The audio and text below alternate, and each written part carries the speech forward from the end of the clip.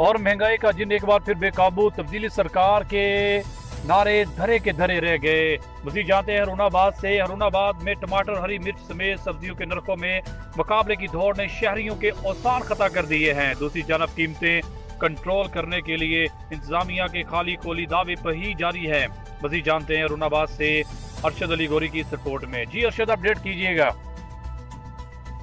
شہر کی سبز منڈی میں جہاں ٹماٹر کی قیمت ڈھائی سو سن کر شہریوں کے چہرے لال پیلے ہونے لگے ہیں، وہیں ہری مرچ، لہسن، ادرک، مٹر، پیاز، آلو، گوبھی کے نرک سن کر منہ کا ذائقہ اور کڑوا ہو جاتا ہے۔